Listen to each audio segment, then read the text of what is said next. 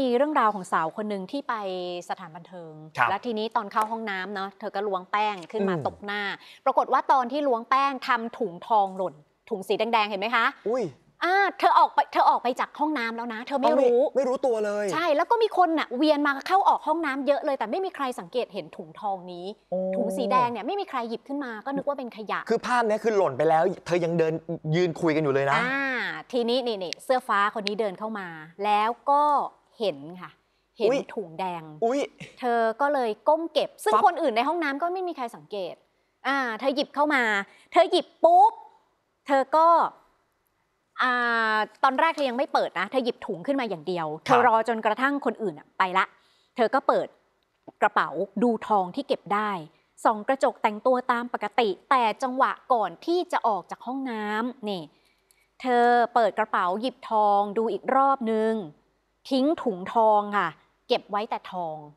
เก็บไว้แต่ทอง คือรู้แหละว่าต้องมีคนทำหล่นไว้แต่อืมไม่หาเจ้าของนี่เห็นไหมคะ คนคนที่มาเข้าห้องน้ำที่หลังก็ไม่รู้แล้วแหละว่าไอ้ถุงนั้นอะของใคร แต่มันอยู่ในมือเธอ แม่อ่าเนี่ยส่องส่องกระจกเช็ดหน้าอะไรทิ้งถุงทองไปแล้วก็เก็บแต่ทองมา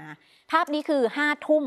วานนี้ ร้านอีสานอินดี้ชลบุรี เจ้าของถุงทองนี้ก็คือคุณอลิสาภูลบุญอายุ 26 ปีทำงานโรงงานในนิคมอุตสาหกรรมอมตะซิตี้นี่เจ้าของทองนะครับ ใช่เธอบอกนอนไม่หลับเลยคุณเบนซ์คุณผู้ชมตายเธอบอกว่ารู้ตัวว่าทองหายตอนที่กลับมานั่งที่โต๊ะอืมไปดูกล้องถึงได้เห็นว่ามีคนเก็บแล้วไม่เอามาคืน แล้วถุงทองอะมีชื่อแฟนมีเบอร์โทรแฟน เพราะแฟนเป็นคนไปซื้อ แล้วเขาจะเขียนระบุเอาไว้บนหน้าถุงเลยอะค่ะ ในนั้นมีทองคำสองเส้น น้ำหนักรวม 3 สลึงนะคะเธอฝากบอกว่าเอามาคืนได้ไหม แล้วจะไม่ติดใจเอาความและมีสินนี่น้ำใจนี่ให้ด้วยนี่นี่ อันนี้ อันนี้คือภาพก่อนจะสูญสลายหายไปอยู่กับคนอื่น ทองแต่งด้วย โอ้ยทองแต่งงานเหรอ ใช่ตายเธอถึงแล้วได้บอกว่านอนไม่หลับนะคะ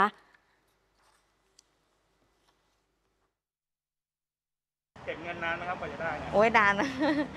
เส้นแรกอะสี่ปี แต่อีกเส้นหนึ่งที่เป็นรูปตัวเฮดอะเป็นทองแต่งแฟนเพิ่งเอามาแต่งอะอยากให้เขาเอามาคืนอะพี่กว่าแบบว่า เราจะหาได้เนาะหนูรู้ว่าเขาเก็บได้ แต่ว่าความรู้สึกที่ว่าของเขาหายไปอะมันแบบเสียใจอะแต่ถ้าเขาเอามาคืนอะหนูก็มีแบบว่า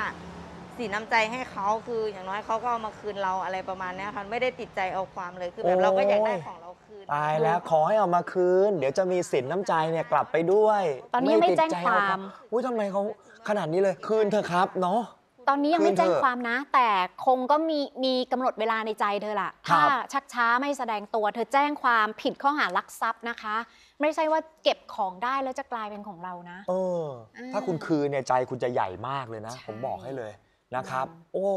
เห็นหน้าชัดเลยด้วยไงแหม่ทีมงานก็อันนี้ช่างยังไม่แคปอยากมาจะแบบว่านะว่าตั้งใจเอาไปหรือเปล่า แต่ว่าพฤติกรรมที่เก็บขึ้นมาแล้วเธอเอาถุงทองทิ้งอะทั้ครังบๆที่มันมีชื่อมีเบอร์โทรติดต่อได้อะมันไม่น่ารักเออออันนี้ยิ้มเพราะเจอทองใช่ไหม